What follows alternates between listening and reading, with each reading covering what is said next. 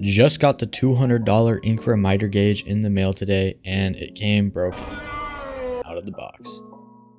I think they just over tightened the screws, which is pretty sad. So we packed it up and sent it back.